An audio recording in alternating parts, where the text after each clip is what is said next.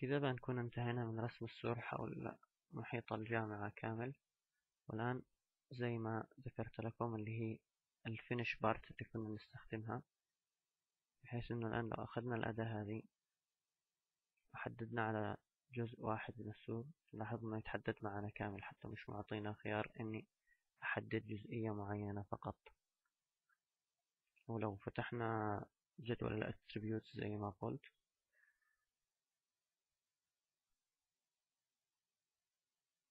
لحظة.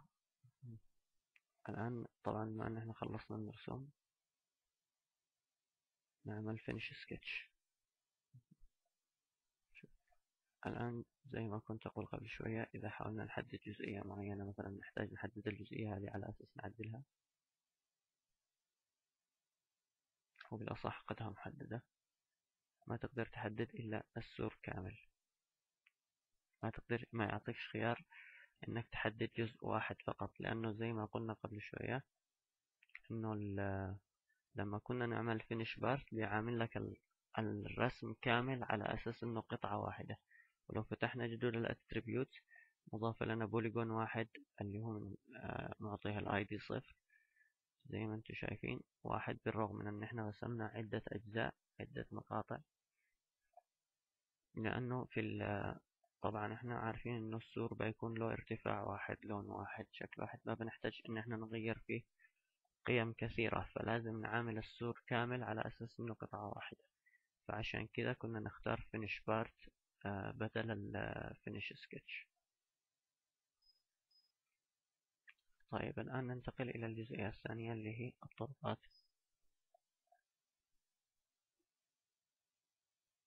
الطبقات فنبدأ نرسم الطرقات الرئيسية اللي هي العريضة وبعدين بننتقل إلى الطرقات الصغيرة. طبعا هنا برضو بنرجع لنفس الكلام وبنكون نختار finish part إلى أن ننتهي من جميع الطرقات الرئيسية اللي هي العريضة.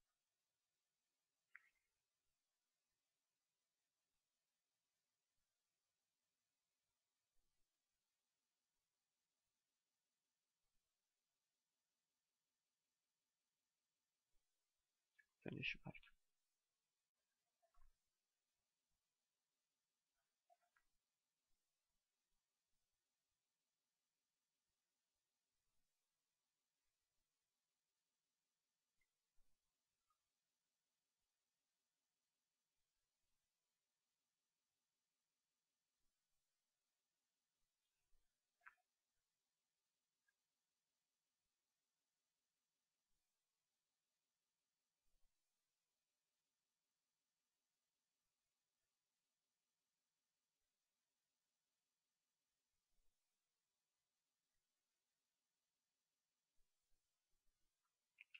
طبعا إحنا الآن نرسم بال ArcMap والسبب إنه أسهل بقليل من ال ArcScene ال ArcScene على طول بيبدأ يتعامل بالأبعاد الثلاثة فبيكون صعب علينا التنقل والرسم فيه بشكل سلس ومرن ما بيكونش بنفس المرونة هذه. فعشان كذا بنبدأ الرسم في ال ArcMap بعدين بننتقل إلى أركسين لإضافة التأثيرات الثلاثية الأبعاد طيب الآن تقريبا انتهينا من جميع الطرق الرئيسية العريضة. فنعمل فينيش سكتش وننتقل إلى الطرقات الفرعية. ونضيفها بهذا الشكل.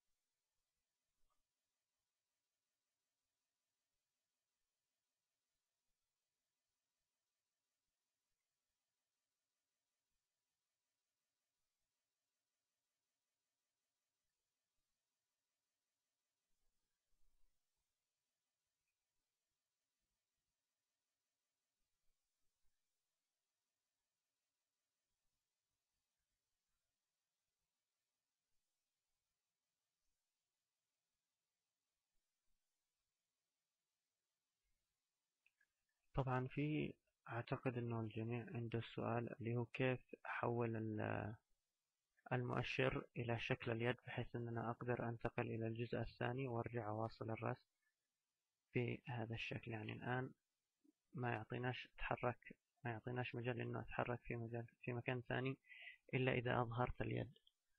فعشان نظهر اليد نضغط على حرف السين تحول إلى اليد نحرك إلى الجهة اللي نشتي ننتقل لها. نرفع يدنا عن مفتاح السين يرجع إلينا خيار إكمال الرسم بهذه الطريقة نقدر نتنقل بين أجزاء الرسم بدون ما نرتكب أي خطأ أو نضطر إلى أنه تكبير وإعادة تصغير يعني طبعا أول محاضرة أسجلها واحتمال أكون مرتبك أو متوتر شوية والسبب يعني إنه للأسف الشديد في جامعاتنا ما بيعودوناش على كسر الخوف أو حاجات زي كذا ف يعني مبدئيا تعتبر تجربة حلوة إن الواحد يحاول يكسر الخوف يد يكون قادر على إنه يلقي محاضرة أمام مجموعة أو حتى تسجيل صوتي لمحاضرة أو شيء. فالأغلب وأنا منهم طبعا عندي إحنا فوبيا من هذه الحاجات بسبب المجتمع بسبب طبيعتنا بسبب يعني ما تعودناش من وإحنا صغار في المدارس إنه الواحد يقوم يشرح أو يسجل شرح أو حاجة زي كده. فإن شاء الله تكون تجربة حلوة وتعجبكم يعني. وإذا في أي رأي أي ملاحظة أي شيء موجود أنا عن حسابي في الفيسبوك عندكم وفي الجامعة أمامكم الوقت. ممكن تعطونا ملاحظاتكم وآراءكم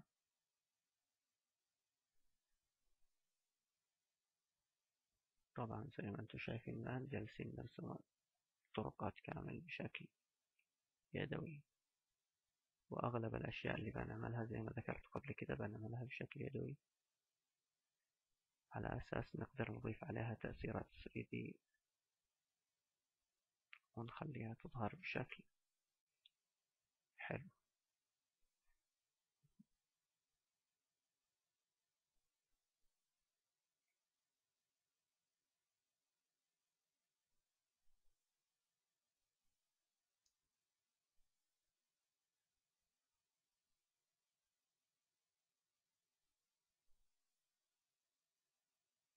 طبعا زي ما هو واضح الطريقة هذه طويلة شوية أو متعبة إلا أنها تعتبر أدق الطرق في الرسم اللي هي استخدام اللاين والنقاط بهذا الشكل.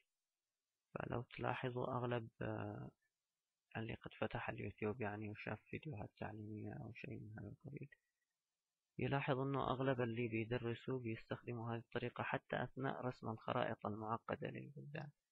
بيزيد ال zoom وبيجلس يمشي على حواف حواف الخريطة على شكل نقاط. ما بيستخدموش ال freehand نهائيا تقريبا إلا في الحاجات التي ما تحتاج دقة. أما الحاجة التي تحتاج دقة عالية فبيستخدموا فيها ال line بهذا الشكل على مقطع مقطع خطوة خطوة.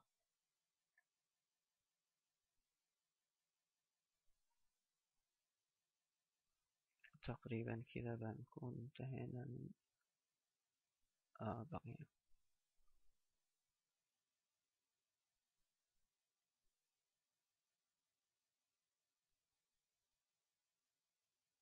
الموقف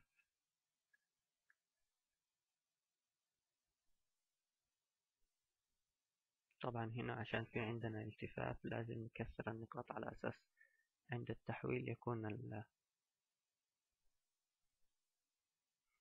تكون الانكسارات خفيفة شوية مش حادة.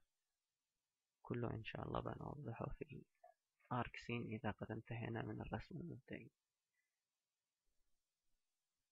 لأن زي ما قلت إحنا بنستخدم الارك ماب في الرسم وبعدين الارك سين في إضافة التأثيرات. طيب وكذا إن شاء الله نكون خلصنا من باقي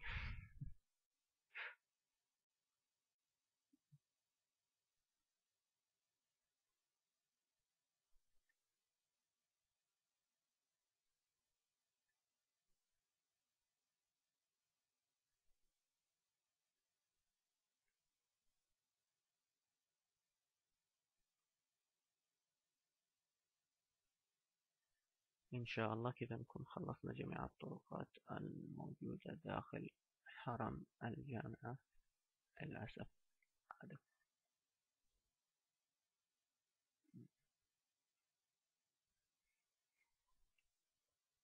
طبعا في حالة إن إحنا وضعنا النقطة هذه بشكل غلط ونحتاج التراجع عنها. control Z control Z طبعا الآن نقلنا إلى المكان اللي كنت قد أشتغل فيه قبل شوية. ورجعنا إلى التعديل هنا نعمل finish part ونرجع نعدل هنا. إذا مثلا لا قدر الله حصل خطأ وضغطت delete sketch لاحظ أنه الآن حذف لنا كل الطرقات اللي كنا بنعمل لها آه finish part. كنترول Z يرجع كل شيء زي ما كان. أما إذا قد عملنا finish sketch فهو تقريبا ما عاد بيتيح لنا إلا تعديل النقطة الأخيرة.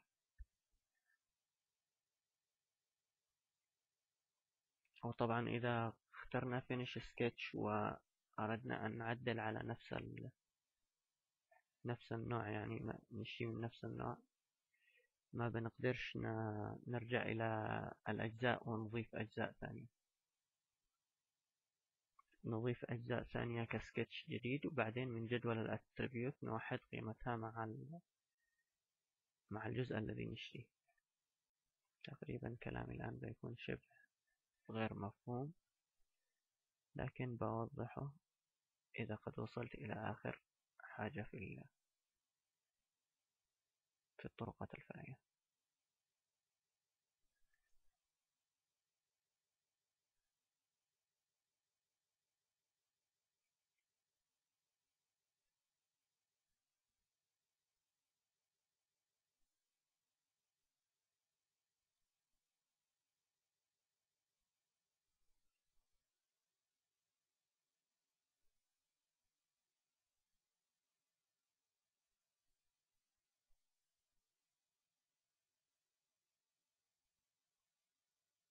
طبعا لنفرض إن إحنا الآن ضغطنا على finish sketch.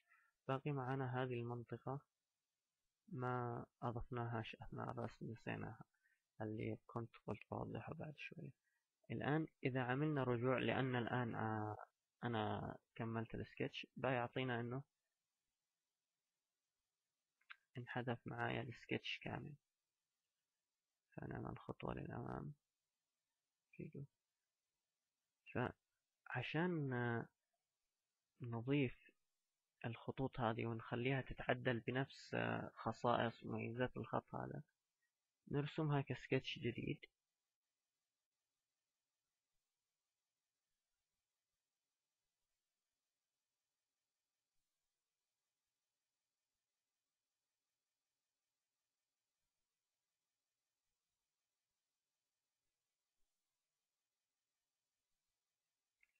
سكتش وبعدين هنا من جدول ال attributes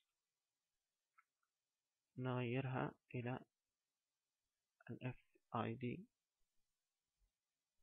ال ID نغيرها إلى واحد. واحد. بحيث أن الآن إذا طبقنا أي تعديلات على الطرق الفرعية بتطبق برضو على هذول بنفس الأسلوب. طبعا أعتقد إنه في طريقة بحيث إنك ترجع تواصل السكتش السابق بس ما قد حصلتهاش.